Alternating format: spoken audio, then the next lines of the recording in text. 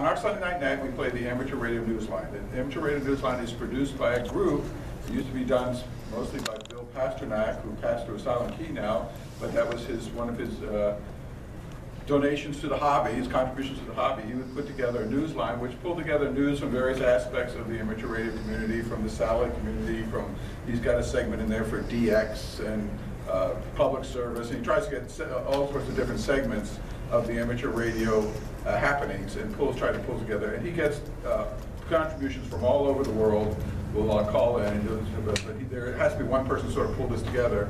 And we find out after his death that Bill, he that would make up the cost if, donate, this is all done by donations, it's not paid staff.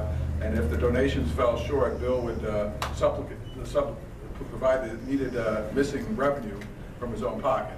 So uh, this is a worthy thing. So we- since we use it quite a bit, I think we're trying to put an item in our budget this year too to donate to the Amateur Radio News Line uh, to support this, because we do use it quite a bit. It is informative. A lot of people do listen, dial in and just uh, listen to it.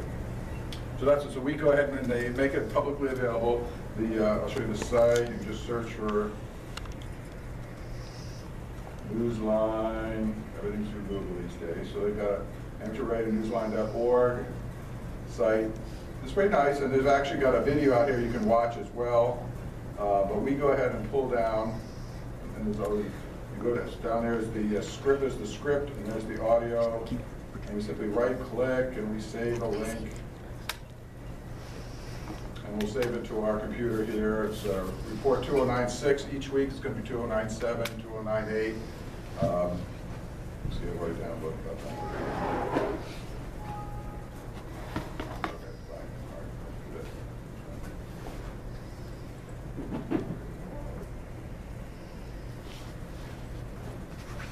Okay, so we get it downloaded, and then we have a program called, and it's just a straight MP3 file.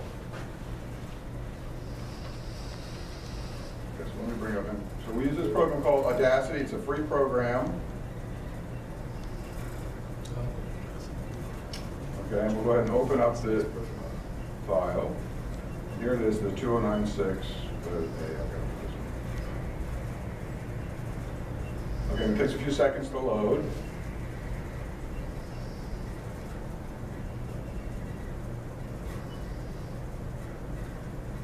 Okay, there it is. Let's go. And then you can play it.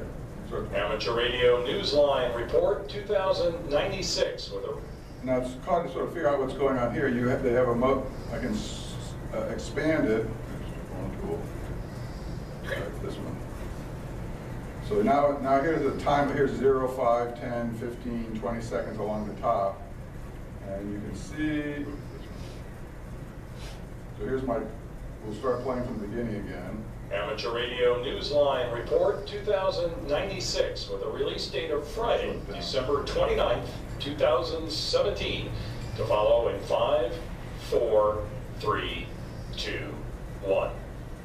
The following is So that first part is what we usually clip off. We don't play that on the air. Sometimes they have announcements in there. When they're doing their fundraising, they sort of put a little uh, uh, pre- pre-message in there, talks about here's what we need. Uh, We usually don't play that part over the air.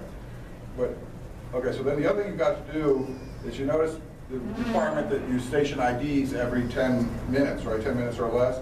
So you, by expanding this, we sort of scroll along here, and you'll see at about the 9, 10 minute mark, they've left the space. And we start playing here, where's my pointing tool right here, hold on.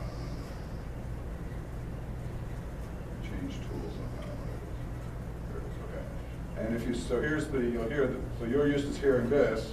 here in Cookeville, Tennessee on Tuesdays at 8. So here's the, oh, I did, so they do talk about a uh, site each night. They said, here's, uh, you hear this. including the Cookeville Repeater Association's W4 HPL repeater in Cookeville, Tennessee on Tuesdays at 8:30 PM Central Time. So it turns out, I did just submit our KV3B repeater that said, hey, we, put- they want to know which sites are playing the news line and when you play it. So I did go ahead and submit us and say we play your news line between 7:30. But anyway, so we should be listening for and see if we get a plug in here one night. But uh, anyway, what has to happen then is that there's the, including the Cookeville Repeater Association's W4 HPL repeater in Cookeville, Tennessee on Tuesdays at 8:30 PM Central Time. and what you're supposed to do at this point is insert your own station identification, right? And then they resume. Well, community service amateur radio isn't about recognition and pride, All right, so obviously we want to get rid of the bleeps there, the tone, so we'll go back here a second. We kind of select this area. And up here, there's generate, and we want to generate silence, and basically replace that, those tones with no sound. So now we got this. 30 p.m. Central Time. Now it's good, dead quiet. Okay, so this is where we'll insert our station identification.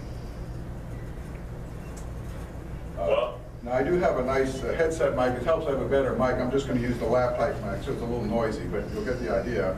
But what we'll do is go here, and we're going to, this is a new tool in here, so we shift insert, shift record.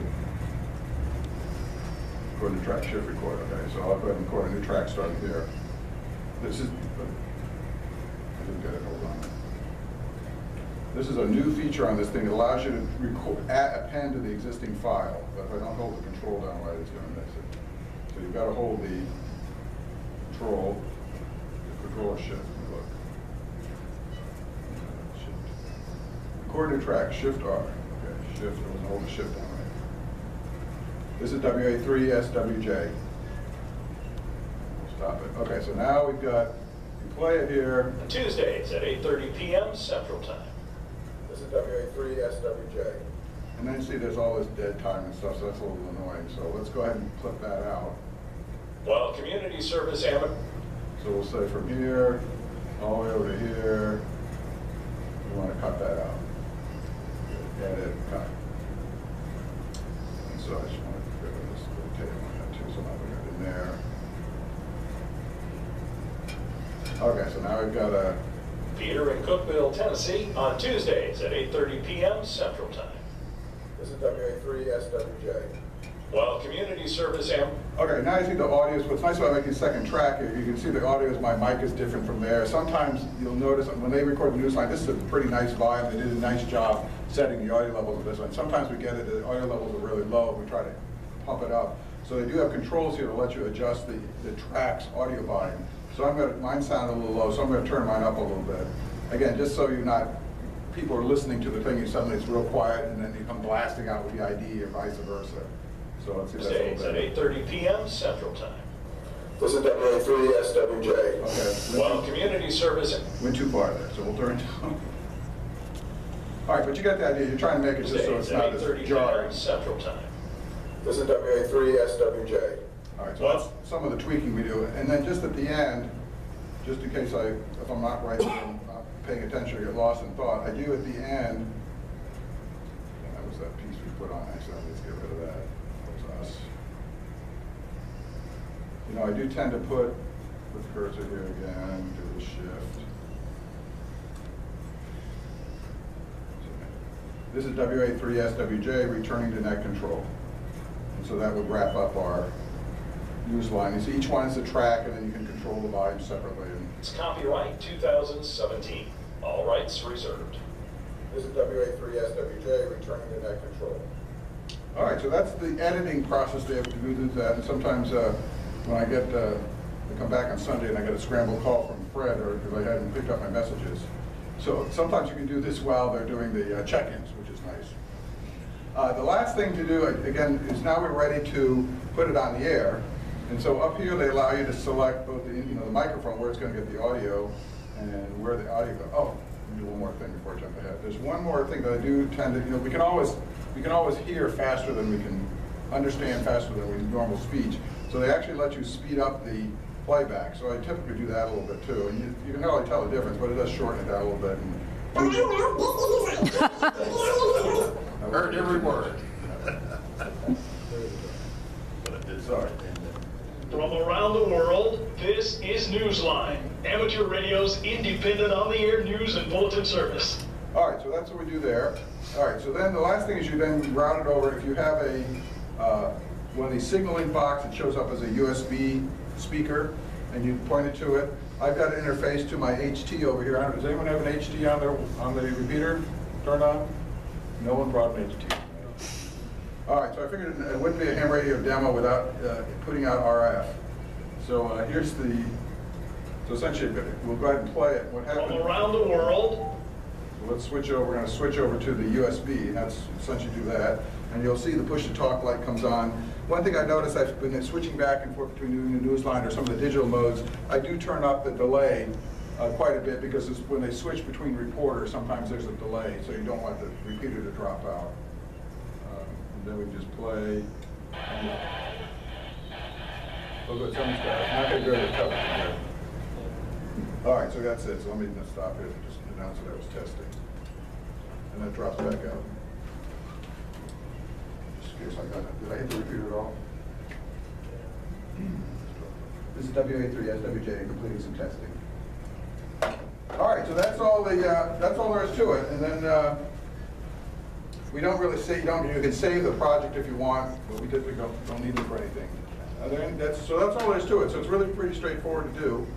Uh, any questions, or do we get some volunteers that will do it?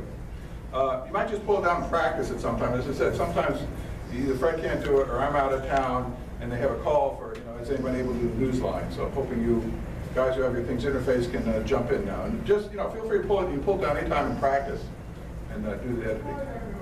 All right, well, that's it.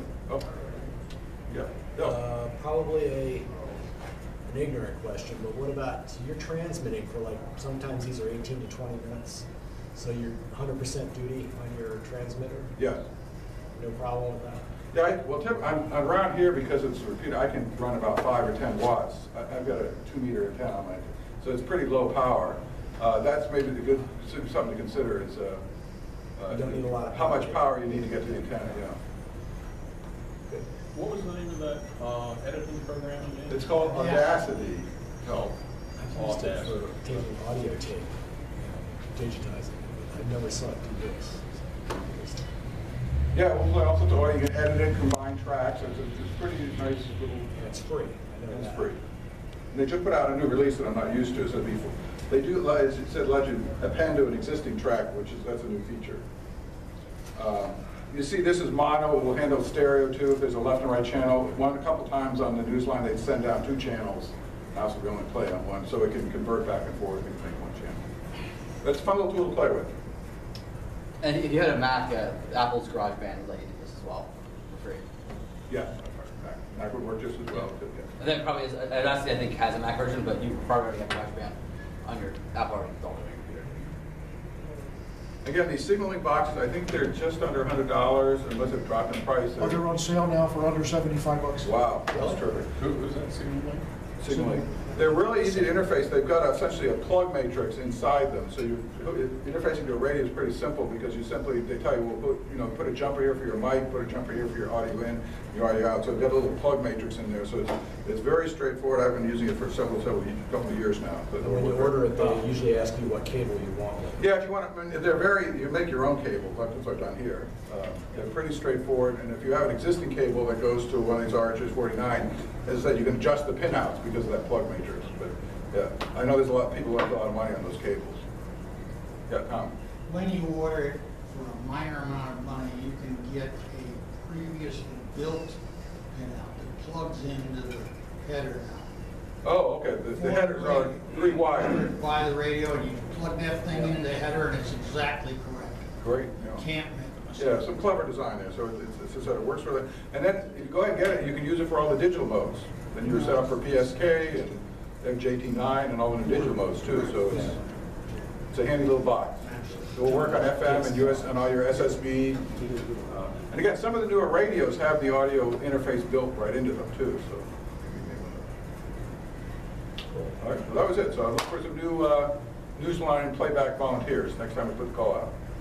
Thank you very much.